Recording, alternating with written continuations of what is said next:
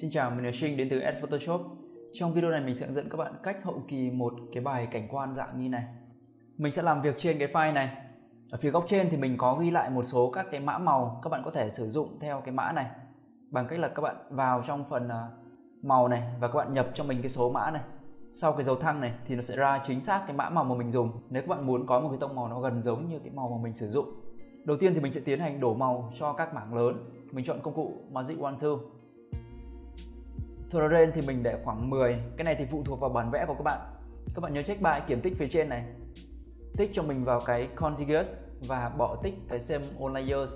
Sau đó các bạn chọn Layer Background Là layer bản vẽ của mình ấy. Ở đây mình sẽ đổ màu cho phần cỏ bên ngoài trước. Mình click vào phần cỏ này. Sau đó mình chọn Adjustment, Chọn Solid Color. Và mình lấy cái màu phía trên cùng. Đây là màu cỏ sáng nhất của mình này. Ok. Tiếp đến thì mình đổ màu phần đất bên trong bốn cây mình cũng lại chọn Magic One Tool này, chọn lại background. Trên thanh thuộc tính thì các bạn chọn cái ờ, tùy chọn thứ hai này, để chúng ta thêm nhiều vùng chọn cùng lúc, add to selection. Sau đó click vào từng những cái vùng ờ, đất phía bên trong này. Mình cứ click click. Đó, cái bước này thì nó sẽ hơi mất công một chút thì mình sẽ tua nhanh. Mọi người cứ click từng điểm một cho đến khi hoàn thành cái phần ờ, bồn cây bên trong. Có những bản vẽ thì nó sẽ chọn nhanh hơn, có những bản vẽ thì nó, chọn nó sẽ chậm hơn sau khi mà đã tạo xong vùng chọn cho cái phần đất ở phía bên trong ấy, thì các bạn lại chọn adjustment chọn solid color. Và đây mình sẽ lấy cái màu à, phía dưới này. Ok cái màu đất nó sẽ hơi nâu nâu một chút. Tiếp đến thì mình sẽ đổ màu các phần cây. Mình cũng lại chọn background chọn magic one tool chú ý một vài kiểm tích phía trên này. Và click vào các cái phần cây như này khi mà chọn xong thì mình cũng lại chọn adjustment này, chọn solid color và mình lấy cái màu xanh đậm phía dưới, làm màu xanh của phần cây. Bấm ok. Ở đây có một số cái cây mình không dùng magic wand để tạo vùng chọn bởi vì cái hình dạng nó khá là phức tạp. Thì để vẽ màu xanh cho cái cây này, các bạn chọn vào cái layer màu của cây này, chọn vào layer mask. Các bạn chọn công cụ brush tool. Chuột phải và chọn cái đầu bút sắc nhé. Màu thì sẽ là màu trắng. Và vẽ vào khoảng như vậy, các bạn không cần phải vẽ nó quá chính xác, nó quá kỹ.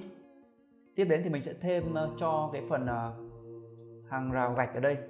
Một cái màu, đó là màu nó hơi đỏ đỏ một chút. Thì mình sẽ dùng công cụ pen để tạo vùng chọn các bạn chọn part nhé sau đó mình sẽ bắt đầu vẽ. Cái này thì sẽ yêu cầu các bạn ờ, biết sử dụng pen để có thể dùng được. Sau khi mà vẽ xong đường kín thì các bạn chọn chuột phải và chọn Mesh Selection cái phần uh, radius đây các bạn để bằng không ok thì chúng ta sẽ có vùng chọn của cái phần uh, hàng rào gạch.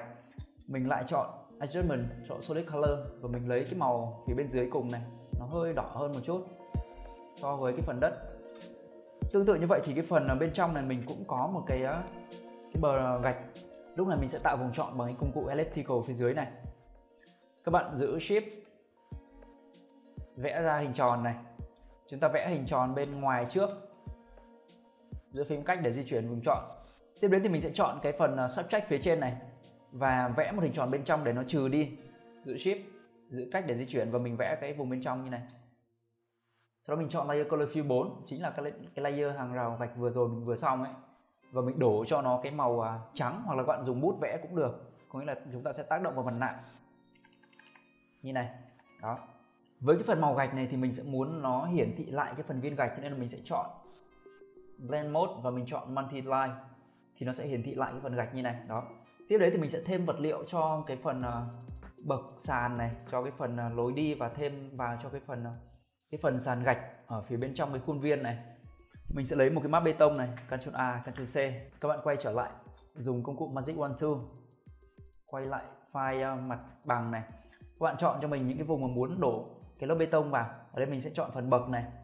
Mình sẽ đổ cho nó một lớp bê tông vào đây sau khi mà tạo vùng chọn thì các bạn uh, chọn edit này chọn paste special và chọn lệnh paste into hoặc là phím tắt nó là Ctrl Shift V thì nó sẽ dán cái map bê tông chui vào trong cái vùng chọn luôn. Các bạn dùng Ctrl T và cho bé lại. Enter và các bạn cho M xuống opacity khoảng tầm 40 tương tự như vậy thì cái phần uh, mấy cái bậc phía ngoài uh, vườn này thì mình cũng sẽ tạo vùng chọn bằng Magic One Tool sau đó lại dùng Ctrl Shift V. Ctrl T cho nhỏ cái map lại. Đây, khoảng này thôi. Sau đó mình giữ phím An và kéo copy ra một vài cái vị trí nữa để nó trải kín cái diện tích này. Sau khi mà đổ màu và đổ cái ờ, phần vật liệu xong như này thì các bạn sẽ sang cái bước thứ hai, đó là chúng ta sẽ tạo một vài cái bóng đổ. Đầu tiên thì mình sẽ có cái phần bóng đổ ở phía bên ờ, xung quanh nhà như này. Mình tạo vùng chọn bằng cái công cụ ờ, polygon như này sau đó mình tạo một cái layer trống. Mình dùng cái công cụ brush tool. Màu là màu đen nhé chuột phải và chọn swap down bút mờ. Mình cho đầu bút to ra một chút. Và mình à, vẽ phía bên ngoài như này. Đó dạng như này. Đó. Và mình giảm opacity xuống một chút khoảng tầm à, 50 cho nhẹ đi. Tương tự như góc bên này cũng vậy. Tiếp đến thì mình sẽ tạo phần bóng cho cái à, phần khuôn viên tròn này nó sẽ có cái bóng xuống phía bên dưới để tạo cái độ sâu. Mình sẽ dùng công cụ elliptical này vẽ một hình tròn to to khoảng này. Sau đó thì mình uh, chọn cái phần uh, trừ bớt này subtract này.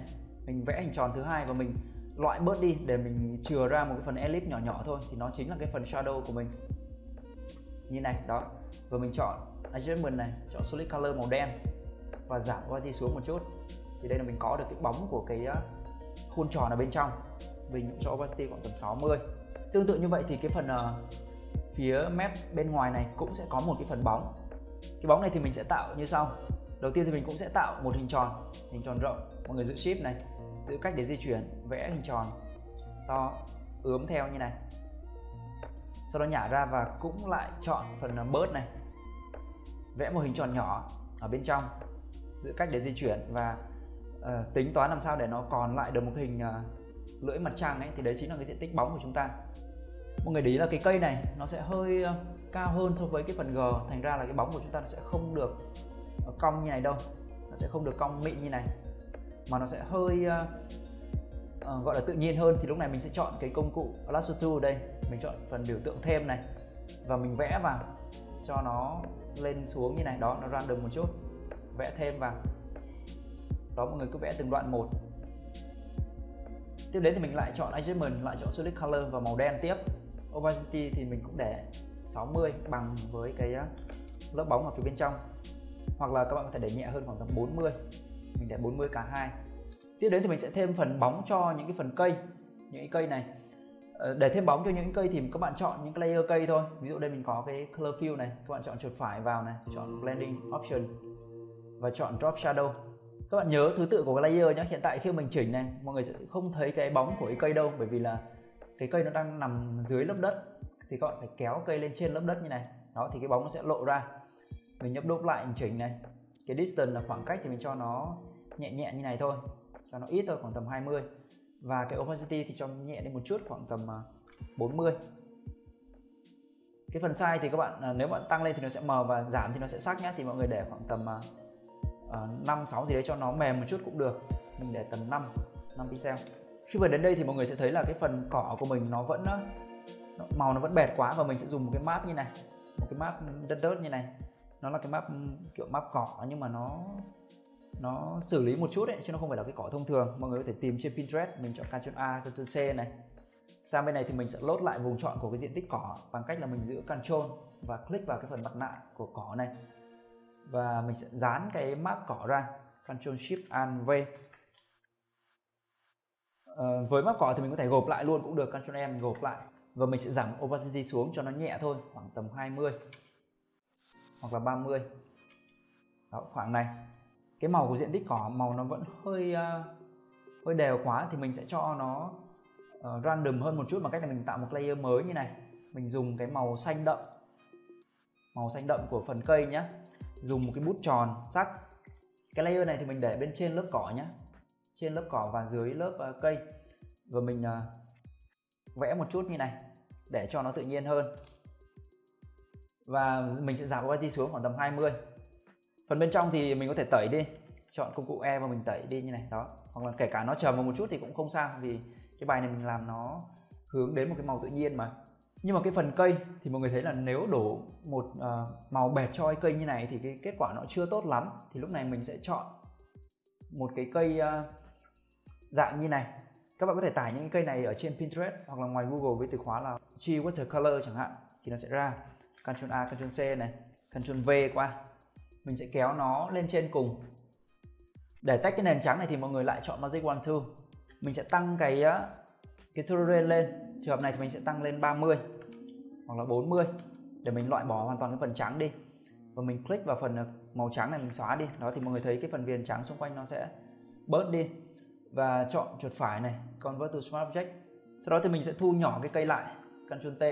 Cái cây này thì mình sẽ dùng cho ờ, đè lên những cái lớp cây viền xung quanh này.